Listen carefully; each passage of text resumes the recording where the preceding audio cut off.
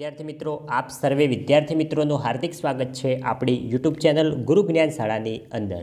વિદ્યાર્થી મિત્રો, આજના આ વિડીયોની અંદર ગુજરાત માધ્યમિક અને ઉચ્ચતર માધ્યમિક શિક્ષણ બોર્ડ દ્વારા શૈક્ષણિક વર્ષ બે હજાર ચોવીસ પચીસ માટેનું ધોરણ નવ વિષય સંસ્કૃત માટેની પ્રથમ પરીક્ષાની અંદર પ્રશ્નપત્રનું પરિરૂપ છે, એની બ્લુપ્રિન્ટ છે, એની સમજૂતી આપણે આ વિડીયોની અંદર જોઈશું. જે મિત્રો તે તમારો અભ્યાસક્રમની સોરી પ્રશ્નપત્ર પરીક્ષા સ્ટાઇલની અંદર ચેન્જ થયો છે, એ ચેન્જ આધારિત આપ બ્લુપ્રિન્ટ છે, તો એની સંપૂર્ણ સમજૂતી આપણે આ વિડીયોની અંદર મેળવીશું. તેના કુલ ગુણ રહેશે પચાસ ગુણ અને એનો સમય રહેશે ટોટલ બે કલાકનો. તો હવે આપણે તેની સમજૂતી જોઈએ. તો છે પ્રશ્નોના પ્રકાર, તો હેતુલક્ષી પ્રશ્નો, પંદર પ્રશ્ન સોરી વિકલ્પ વિના પંદર પ્રશ્નો પૂછાશે, વિકલ્પ સાથે સત્તર પ્રશ્નો થશે, કુલ ગુણ થશે પંદર ગુણ. ટૂંક જવાબના પ્રશ્નો, ટોટલ નવ પ્રશ્નો હશે, છ માર્ક્સ ટૂંક જવાબના, દસ પ્રશ્નો, દસ માર્ક્સ વિસ્તૃત જવાબના સાત પ્રશ્નો, પંદર માર્ક્સ વિસ્તૃત જવાબી પ્રશ્નો કોઈ પણ એક લખવાનો છે, બે પૂછાશે, ચાર માર્ક્સ ટોટલ મિત્રો પ્રશ્નની સંખ્યા થશે વિકલ્પ વિના બત્રીસ ને વિકલ્પ ટોટલ તમારે પ્રશ્નોના જવાબો આપવાના છે, બત્રીસ પ્રશ્નોના જવાબો આપવાના છે, પિસ્તાળીસ પ્રશ્નો પ્રશ્નપત્રની અંદર હશે. ટોટલ માર્ક્સ થશે પચાસ માર્ક્સ નેક્સ્ટ કેટલા પ્રકરણ પૂછાશે? તો એકથી છ પ્રકરણ પૂછાશે. જોઈ શકો છો, પહેલું, બીજું, ત્રીજું, ચોથું, પાંચમું ને છઠ્ઠું. પહેલા પ્રકરણમાંથી ચાર માર્ક્સનું પૂછાશે, બીજા પ્રકરણમાંથી પાંચ માર્ક્સનું, ત્રીજા પ્રકરણમાંથી છ માર્ક્સનું, નેક્સ્ટ ચોથા પ્રકરણમાંથી ચાર માર્ક્સનું, પાંચમા પ્રકરણમાંથી પાંચ માર્ક્સનું અને છઠ્ઠા પ્રકરણમાંથી પણ ચાર માર્ક્સનું. ટોટલ થશે પચાસ માર્ક્સ. સોરી મિત્રો, અગિયાર પ્રકરણ સુધી પૂછાવાનું છે તમારે. સાતમું પ્રકરણ છે, એની અંદર ચાર માર્ક્સનું પૂછાશે. આઠમું પ્રકરણ છે, એની અંદર પણ છ માર્ક્સનું. નવમું પ્રકરણ છે, એની અંદર ચાર માર્ક્સનું. અગિયારમો પ્રશ્ન છે, એની અંદર સોરી અગિયારમું પ્રકરણ છે, એની અંદર ચાર માર્ક્સનું. તે મિત્રો અપઠિતિમ એટલે કે બારનું મિત્રો, ચાર માર્ક્સનું પૂછાશે. એટલે કે પેરેગ્રાફ માટે પ્રશ્નોના જવાબ આપવાના એવું. ટોટલ થશે પચાસ માર્ક્સ. એટલે આપણે ટોટલ એકથી અગિયાર ચેપ્ટર તૈયાર કરવાના છે. નેક્સ્ટ આગળ વધીશું હવે. એની વધારે સમજૂતી મેળવીશું.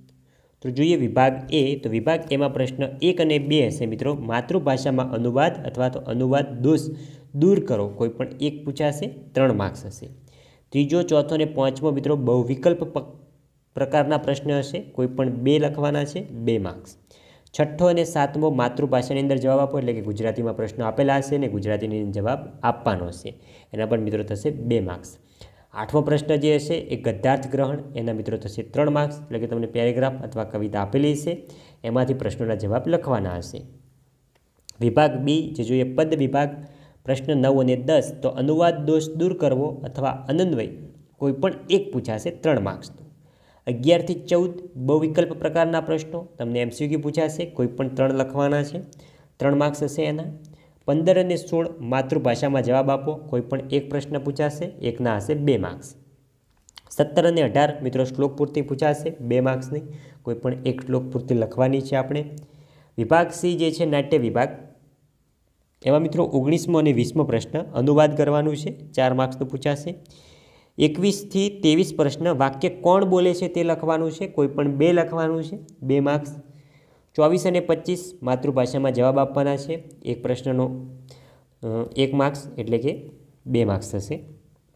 છવ્વીસથી અઠ્યાવીસ સંસ્કૃતમાં વાક્ય બનાવો, કોઈ પણ બે, મિત્રો, બે માર્ક્સ હશે. વિભાગ ડી જોઈએ વ્યાકરણ વિભાગ ઓગણત્રીસથી અડત્રીસ સુધી. દસ માર્ક્સનું વ્યાકરણ પૂછાશે. એમાં સામાનાર્થી શબ્દો, વિરુદ્ધાર્થી, વર્તમાનકાળ રૂપ, સામાન્ય ભવિષ્યકાળ રૂપ, પુલ્લિંગ, સ્ત્રીલિંગ નપુસકલિંગ શબ્દ, કૃદાંત પ્રકાર, સંધિ જોડો અને છોડો. અને મિત્રો, જો તમે હજુ સુધી અમારા ધોરણ નવના વોટ્સઅપ ગ્રુપની અંદર ના જોડાણા હોય, તો આ વિડીયોના ડિસ્ક્રિપ્શન બોક્સમાં તમને લિંક આપેલી છે. ત્યાં જઈને જોડાઈ જજો, આ પીડીએફ પણ તમને ત્યાં જવાબ મળી જશે. અને હજુ સુધી અમારી ચેનલને સબસ્ક્રાઈબ ના કરી હોય, તો અચૂકથી સબસ્ક્રાઈબ કરી દેજો. કારણ કે જે તમારી આવનારી પ્રથમ પરીક્ષા છે, એની અંદર એક એક વિષયના ત્રણ ત્રણ સેમ્પલ પેપર આપીશું અમે. એ સેમ્પલ પેપર તમે સંપૂર્ણ વીડિયો જોશો, તૈયાર કરશો, લખશો, તો અમે પરીક્ષાની અંદર નેવું ટકાથી પણ વધારે માર્ક્સ કવર કરી શકશો. અને ઓરિજિનલ જે તમારી પ્રથમ પરીક્ષાના પ્રશ્નપત્ર હોય છે, એનું પણ સોલ્યુશન અમે અમારી ચેનલ ઉપર સૌપ્રથમ સચોટ ને સાચું કરાવીશું. જેથી કરીને અમારી ચેનલ તમને ખૂબ જ ફાયદાકારક રહેશે. માટે બીજા મિત્રો સુધી પણ શેર કરજો. ઓગણચાળીસમાં પ્રશ્નમાં ગદ્યાર્થ ગ્રહણ છે. એ મિત્રો ત્રણ માર્ક્સનો ચાળીસથી બેતાલીસ જે મિત્રો એમાં કર્તા સાથે કૃતિ જોડવાની છે, એ મિત્રો બે માર્ક્સનું પૂછાશે. તેતાળીસમો છે રેખાંકિત પદની શુદ્ધિ એટલે કે ખોટું વાક્ય લખ. ખોટો શબ્દ લખેલો છે, એની જગ્યાએ સાચો શબ્દ લખવાનો છે, એ પણ મિત્રો ત્રણ માર્ક્સનો. ચુમ્માળીને પિસ્તાળીસ, અર્થ વિસ્તાર હશે, એ મિત્રો બે માર્ક્સનો હશે. ટોટલ ગુણ થશે આપણા પચાસ માર્ક્સ. નેક્સ્ટ આગળ વધીશું. તો આગળ જોઈશું વિભાગ એ ગદ વિભાગ. તો નીચેના ગદખંડનો માતૃભાષામાં અનુવાદ કરો. અથવા તો આપેલ ગતખંડનો અનુવાદ દોષ દૂર કરી અનુવાદ ફરીથી કરો. એ પણ મિત્રો તમે જોઈ શકો છો. નેક્સ્ટ હવે આગળ વધીશું. તો નેક્સ્ટ મિત્રો બે માર્ક્સ તો પૂછાશે. નીચે આપેલા સંસ્કૃત પ્રશ્નોના ઉત્તરો વિકલ્પમાંથી શોધીને સંસ્કૃતમાં લખવાના છે. નેક્સ્ટ આગળ જઈશું. તો નીચે આપેલા પ્રશ્નના ઉત્તર માતૃભાષામાં એટલે કે ગુજરાતી ભાષાની અંદર પૂછાશે. નેક્સ્ટ નીચે આપેલા ગતખંડો વાંચીને પ્રશ્નોના ઉત્તરો સંસ્કૃતમાં લખો. નેક્સ્ટ આગળ વિભાગ બીમાં અનુવાદ દોષ દૂર કરો. વિભાગ એ દસ માર્ક્સનો વિભાગ બી પણ દસ માર્ક્સનો વિભાગ બી પણ મિત્રો સેમ જ હશે. ખાલી લાસ્ટમાં જે શ્લોક પૂર્તિ છે એ મિત્રો અલગ હશે. શ્લોક પૂર્તિ સત્તર અને અઢાર બે શ્લોક પૂર્તિ પૂછાશે. તમારે કોઈ પણ એક શ્લોક પૂર્તિ કરવાની છે. વિભાગ સી જે છે નાટ્ય વિભાગ એ પણ દસ માર્ક્સનો પૂછાશે. એમાં પહેલું તો હશે અનુવાદ, બીજો હશે અનુવાદ દૂર કરવાનું. બેમાંથી ગમે તે એક, બે બે આપેલા હશે. તમારે કોઈ પણ એક લખવાનું છે. નેક્સ્ટ છે વાક્ય કોણ બોલે છે તે લખવાનું છે. એકવીસ, બાવીસ ને ત્રેવીસ ત્રણ હશે કોઈપણ બે આપણે લખવાના છે. નેક્સ્ટ માતૃભાષાની અંદર જવાબ ગુજરાતીમાં આપણે જવાબ લખવાનો છે. નેક્સ્ટ કે કૌંસમાં આપેલા શબ્દોનો ઉપયોગ કરી વાક્ય બનાવવાનું છે. એ પણ મિત્રો કોઈ પણ ત્રણ આપેલા હશે, એમાંથી કોઈ પણ બે લખવાના છે. નેક્સ્ટ વિભાગ. વિભાગ ડી જે છે, વ્યાકરણ વિભાગ. વિભાગ ડી પણ આપણો દસ માર્ક્સનો હશે. તો સૂચના મુજબ તેમાં ઓગણત્રીસમો છે. સામાનાર્થી શબ્દ પૂછાશે પહેલાંમાં. ત્રણ વિકલ્પો આપેલા હશે એમાંથી કોઈ પણ એક સાચો જવાબ શોધીને આપણે લખવાનો છે. ત્રીસમાં વિરોધી, એમાં પણ ત્રણ વિકલ્પ આપેલા હશે એમાંથી કોઈ પણ એક સાચો શોધીને લખવાનો છે. એકત્રીસમો છે કે વર્તમાન કાળના કોઈપણ પુરુષ અને વચનના ક્રિયાપદો શોધવા માટે પૂછવા, એટલે કે કોઈપણ રૂપ આપેલું હશે એનો મિત્રો આપણે વર્તમાન કાળનું રૂપ અથવા તો પુરુષ અથવા તેનું વચન શોધવાનું હશે. એક વચન છે, બહુવચન છે, એવી રીતે. બત્રીસમો છે, સામાન્ય ભવિષ્યકાળના કોઈપણ પુરુષ અને વચનના ક્રિયાપદો શોધવા માટે તમને કહેવામાં આવશે. તેત્રીસમો છે, એમાં મિત્રો ત્રણેય લિંગના એક એક એમ ત્રણ વિકલ્પો આપેલા હશે, તેમાંથી પુલ્લિંગ શબ્દ શોધવાનો રહેશે. ચોત્રીસમો તમને પૂછાશે ત્રણેય લિંગના એક એક એમ ત્રણ વિકલ્પો આપેલા હશે, એમાંથી આપણે સ્ત્રીલિંગ શોધવાનો રહેશે. પાંત્રીસમો પ્રશ્ન આપણને પૂછાશે કે ત્રણેય લિંગના એક એક એમ ત્રણ વિકલ્પો આપેલા હશે, એમાંથી આપણે નપુસ્તક લિંગ શબ્દ શોધવાનો છે. નેક્સ્ટ છે કૃદંત વાચક પદને રેખાંકિત કરવો ઉત્તર માટે ત્રણ ત્રણ વિકલ્પો નીચે આપવામાં આવશે. કૃદંત શોધવાનો છે. નેક્સ્ટ છે, સંધિ જોડવા માટેનો એક પ્રશ્ન પૂછાશે. નીચે ત્રણ વિકલ્પો પણ આપેલા હશે. અડત્રીસમો છે, સંધિ જોડવા માટે એક વિકલ્પ પૂછાશે. એની અંદર પણ નીચે ત્રણ વિકલ્પો આપેલા હશે.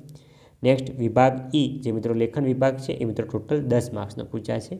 તો ગટખંડ વાંચીને પ્રશ્નોના જવાબ એ મિત્રો ત્રણ માર્ક્સનો હશે. નેક્સ્ટ કર્તા સાથે યોગ્ય કૃતિ જોડો. તો મિત્રો, આ નવું છે. આ બે માર્ક્સમાં પૂછાશે તમને. કર્તા કૃતિ જોડકા જોડવાના છે. નેક્સ્ટ છે રેખાંકિત. પદોની શુદ્ધિ કરીને ગદખંડ ફરીથી લખવાનો છે. પેરેગ્રાફ છે એની અંદર. જે રેખાંકિત પદો છે એ ખોટા છે. એની જગ્યાએ સાચા રેખાંકિત પદો સોરી સાચા પદો લખીને પેરેગ્રાફ સાચો લખવાનો છે. એ મિત્રો ત્રણ માર્ક્સનો પૂછાશે નેક્સ્ટ છે શ્લોકોનો માતૃભાષામાં અનુવાદ કરી અર્થ વિસ્તાર કરવાનો છે. કોઈપણ એક શ્લોક, બે માર્ક્સ. તો વિદ્યાર્થી મિત્રો, આ હતો આપણો ધોરણ નવ વિષય સંસ્કૃત વિષયની અંદર પ્રશ્નપત્રનું સંપૂર્ણ બ્લુપ્રિન્ટનો માળખો.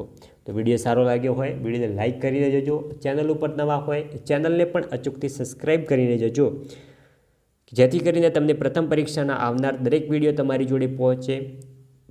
તમે વીડિયો જોઈ પરીક્ષાની અંદર સારા પેપર લખી શકો અને સારા માર્ક્સ મેળવી શકો. મળીશું આવનાર વીડિયો સાથે. ત્યાં સુધી આવજો. જય હિન્દ, જય ભારત.